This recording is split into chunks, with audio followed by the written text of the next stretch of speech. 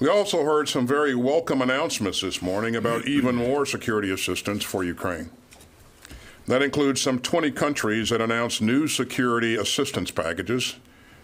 Many countries are donating critically needed artillery ammunition, coastal defense systems, and tanks and other armored vehicles.